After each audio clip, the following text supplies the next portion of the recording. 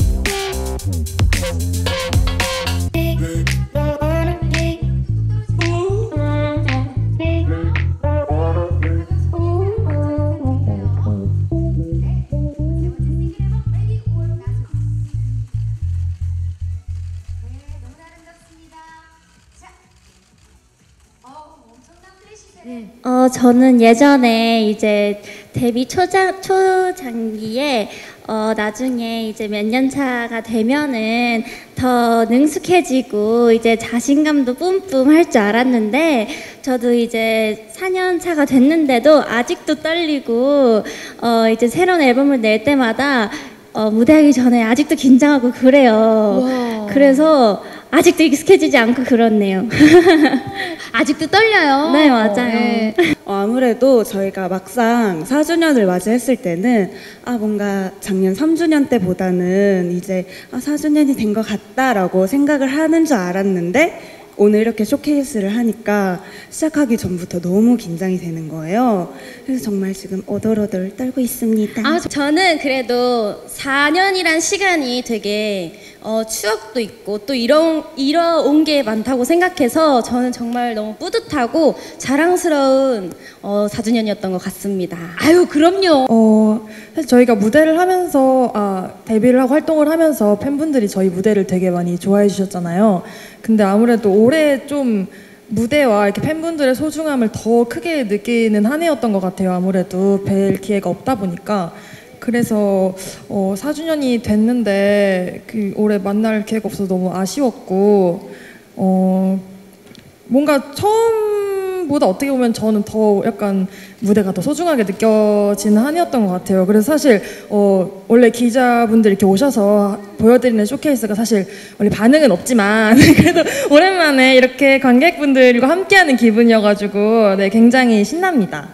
네, 일단 4주년인 만큼 어, 저희가 얼마나 더 함께 더 있을지에 대한 기대감이 더 커지는 것 같고 뭔가 무대를 할 때마다 항상 느끼는 거는 올해 더욱더 언니 말대로 더 어, 무대에 대한 소중함을 느끼게 된 계기를 통해 멤버들이랑 무대를 설때 어, 이렇게 4년 동안 같이 함께 했으며도 이렇게 무대를 설 때마다 얼마나 더 이렇게 같이 할 수 있을까라는 것과 이렇게 같이 함에 이렇게 소중함을 더 항상 느끼는 그런 시간인 것 같아요. 그랬어요. 네.